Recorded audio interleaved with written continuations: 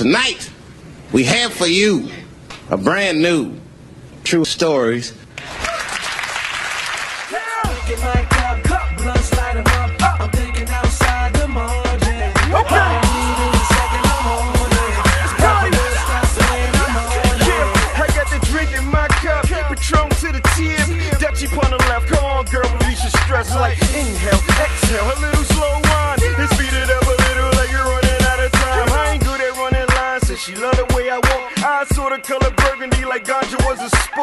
First of all, I think the music game is at it's at it's at one of its worst points. Mm-hmm. And I say financially that, or creatively, not, or? not financially. The money's just going in different places now. Mhm. That's why people might say it's fucked up financially. It's just because the dudes who was getting it Yeah. ain't getting it. Now you got that dude sitting behind the computer that's getting it. Now you got the dude that owns iTunes that's getting some of the money that this dude would have got. Yeah. So some people will be like, "Yo, it's fucked up financially," but it's not. The money's still there. It's just shifted to different areas. All right. But the reason why I say the game is fucked up now is because the people that's in power, when I say that, I mean like the people who kids listen to and the people that the majority listen to, they're they're actually filling people's head with the thought that like, yo, it's, everything's cool. Like, you know what? You get in this game, you make a hit, you become a millionaire, you live good for the rest of your life. When that's the farthest from the truth. You know understand what I'm saying? It's like I think a lot of these people that's in the game now, that's on YouTube, that's on MySpace, that's on Twitter, they would never fuck with the game if they understood that it's really not like that. For every for every hundred people that come in the game, a half of them suc- like not half, a half of a person succeed. You understand what I'm saying? So mm-hmm. damn near 0.5 percent succeed out of every hundred percent. Yeah. Out every hundred people. Let me not say percent. 0.5 percent succeed. And that's a fucked up number. You understand what I'm saying? So it's like if people understood that, they wouldn't look at the game the same way because a lot of these dudes that's in the game is in it for money, not for the love of music. So it, it's it's different when and I was speaking to my man. I know he don't have a problem me saying it, but I was speaking to my man Billy Danze from you know MOP. MOP. Me and him was talking yesterday, and he told me like some shit that I ain't never thought about, but it's, it's real. He said the game is fucked up now because a lot of these dudes who feel like they big men in the music game, they grew up in the music game.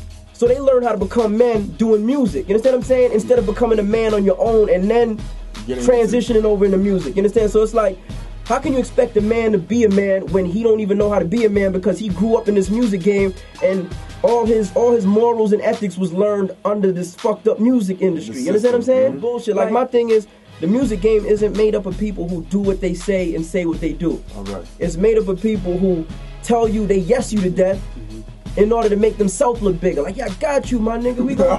like, that's the worst line in the world to me. You know what I'm Yeah. saying? Like my thing, I don't give a fuck what you say.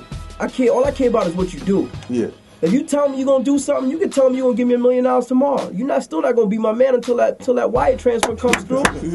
You understand what I'm trying to Yeah, tell you? understood. I understand So that's man. you know I know I went around the whole block with this answer. Nah, but it, it, it made But- sense. Right, but this music game is fucked up because of those reasons. If we had legitimate people in power to, to lead people in the right direction, the game would be so much better.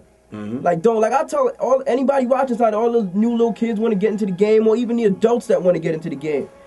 It's not what it looks like. You see those videos with the speedboats and the bitches and the cars, and that's cool. That's a video. Half of that shit is borrowed. Half of that is rented. You know what I'm saying? The label wants their money back. Bottom line. Recoup. Right. If all y'all don't know what recoup means, go look it up. Because that's a word that I didn't understand until about three years in the game. Mm. So, you know what I mean? Like, once people understand the game, it'll start to weed out the fucked up people from the people who really want to be here. Understood. You know what I'm saying? And, and real, cause you know when I when I introed you, you was chilling back in the cut. You say you know you just enjoying the situation. You, You're giving yourself a, off as a real person. How would you like to compound what Rsonist just said in terms of the music I situation? mean, if, if you if you notice, honestly, everything he was saying, it goes back, back to just being a loyal person, man. Yeah. Say what you going say what you want to say, man, but just your actions speak louder than words. You dig what I'm saying? Mm-hmm. And I mean, that's how I leave it, man. Because I mean, we've been through some situations, and I ain't putting nobody's name out there because we ain't trying to come off like that. You feel me? But they'll see the interview and they'll know who it's directed to. You know what I'm saying? Mhm. You tell us you're gonna do something, do it. Bottom line. You know what I mean? Because at the end of the day, I'm not saying I want to just punch you in your face because you ain't do what you said. Yeah. It's the principle. You disrespecting me. Mm-hmm. You know what I mean? Bottom line, that's what it is. Like if you're gonna do something, because if I tell you I'm gonna do something for you, even if I can't do it, I'm gonna inform you. I'm not gonna wait until it's time for that transaction and then just turn my back on you. Because you know you you've had you've Who had you've had you know music on on radio, singles on the radio, major singles, BDS spins, everything. You've gotten checks for that.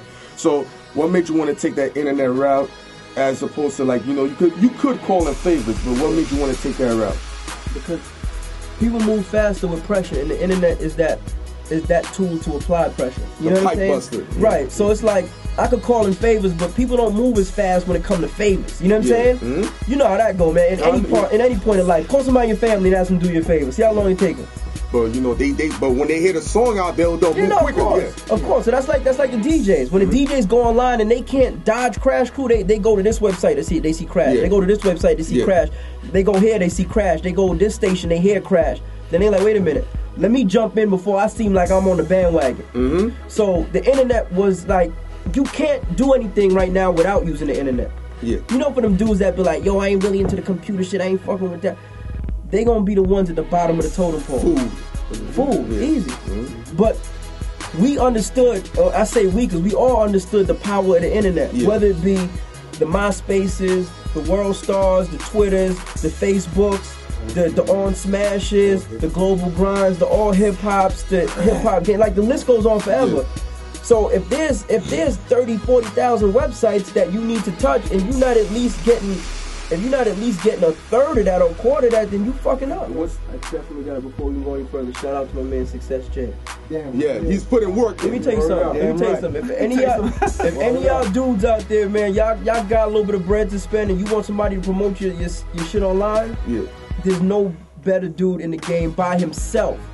I'm not talking about with a team, because a lot of people got a team by himself. Mm-hmm. Holla Success Jae.